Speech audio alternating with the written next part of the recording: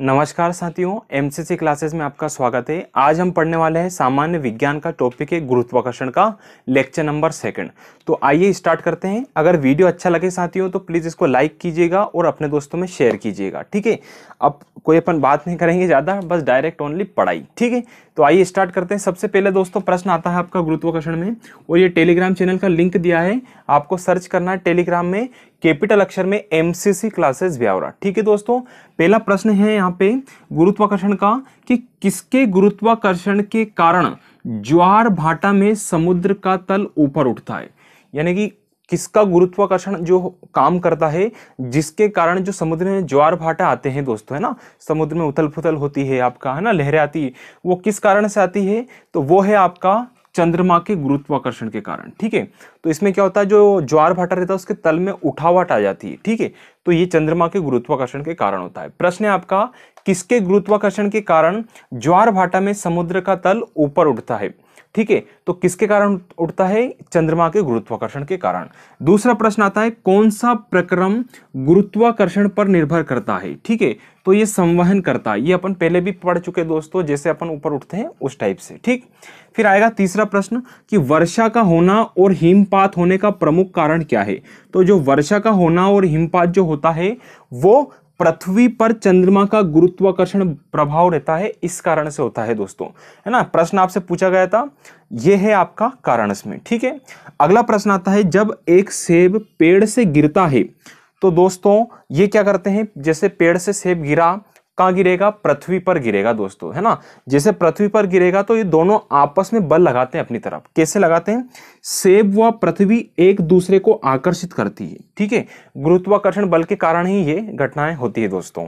फिर आता है आपका, एक पिंड द्वारा दूसरे पिंड पर उसके द्रव्यमान द्वारा लगाया गया बल है तो ये गुरुत्वीय बल होता है। दो पिंडों को आपस में जैसे बताया था अपन ने, capital G M one M one M one M two अपन आर स्क्वायर दोस्तों।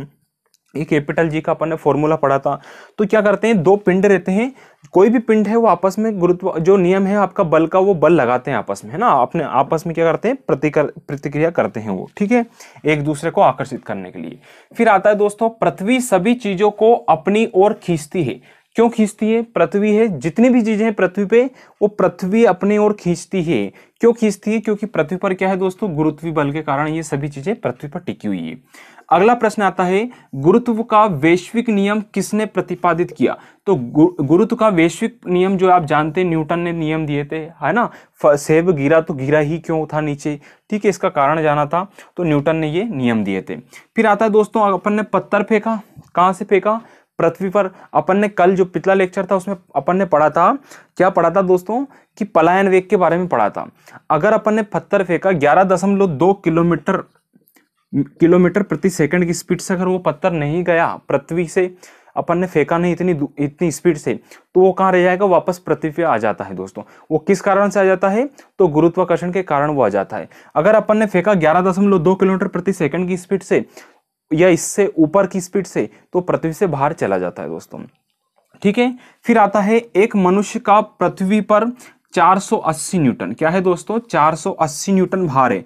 तो उसका भार चंद्रमा पर कितना होगा? ठीक है? ये प्रश्न आपसे पूछा गया है। ये न्यूमेरिकल भी आते हैं, आपको याद रखना है। जैसे कि पृथ्वी पर जो भार है, उसका एक बटे छह भार कहाँ रहता है दोस्तों? चंद्रमा पे।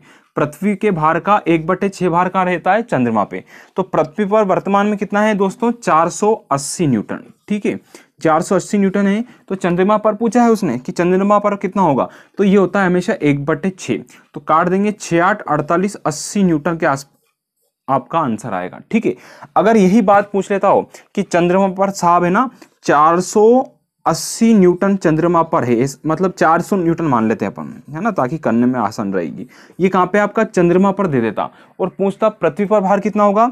तो ये हो जाता दोस्तों छह गुना। यहाँ पे पृथ्वी का एक बटे छह गुना होता है चंद्रमा पे। और यहाँ पे चंद्रमा पे दे रखा चालीस न्यूटन तो पृथ्वी पर कितना होगा? गुना छह करना है। तो छह चुको चौबीस न्यूटन, यानी 240 न्यूटन वैल्यू हो जाएगी। ठीक है? ये न्यूमरिकल आते हैं, आपको याद रखना है, पृथ्वी का जो भार है चंद्रमा का जो भार है, पृथ्वी के भार का एक बटे छह गुना है। ठीक है दोस्तों? अगला प्रश्न आता है, जब एक बॉल को ऊपर फेंका जाता है तो गुरुत्वाकर्षण बल किस दिशा में लगेगा? यानी कि मैंने क्या किया दोस्तों? बॉल को ऊपर फेंका। कहाँ फेंका? ऊपर जैसे बोल गई। ठीक है, ये बॉल ऊपर जा रही है तो इस पे जो बल लग रहा है, वो कहाँ लगेगा दोस्तों? नीचे। कहाँ लगेगा? नीचे। यानी कि विपरीत दिशा में लगेगा। ऊपर जा रहा है, लेकिन गुरुत्वाकर्षण क्या कर रहा है? इसको वापस खींचने की कोशिश कर रहा है। तो इस हिसाब से आपको याद रखना है दोस्तों। ठीक है तो कहाँ लगेगा? बॉल अगर ऊपर जा रही तो नीचे की तरफ़ लगेगा। और नीचे जा रही तो कुछ नहीं, बढ़े जाना है। ठीक है, ये आपके कुछ प्रश्न है दोस्तों। अगर मेरा लेक्चर अच्छा लगा ना तो इसको ज़रूर शेयर कीजिएगा। धन्यवाद साथियों।